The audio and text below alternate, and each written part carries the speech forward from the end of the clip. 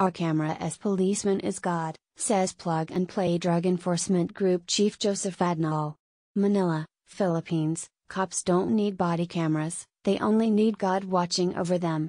This was the sentiment of Philippine National Police Drug Enforcement Group Director Chief Superintendent Joseph Adnol on Wednesday, December 6, reacting to uproar that cops should use body cameras on their third try in the drug war.